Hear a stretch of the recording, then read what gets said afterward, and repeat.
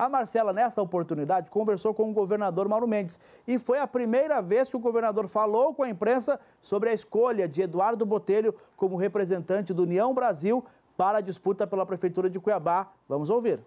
É, foi a escolha naquele momento que me pareceu, né, exercendo a atribuição que eu recebi da executiva como presidente do partido, e foi combinado na executiva que seria assim. Eu teria que decidir Cuiabá, assim como Jaime decidiu Várzea Grande, assim como cada deputado também recebeu a atribuição de organizar o partido nos diversos municípios do estado de Mato Grosso. Nós combinamos isso no União Brasil, fiz a escolha, o Botelho tem grandes predicados, o Fábio tem grandes predicados.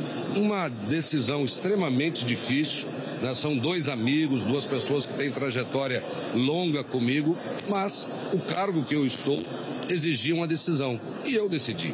Decidi e acredito que nós teremos condição de fazer uma grande campanha né? Cuiabá se encontra num momento extremamente difícil, a cidade está sucateada, a cidade está desorganizada, vive um momento muito ruim ao longo dos anos, com tantos escândalos, existe uma desmotivação, então nós precisamos resgatar Cuiabá, consertar Cuiabá, assim como, graças a Deus, nós conseguimos consertar o estado de Mato Grosso.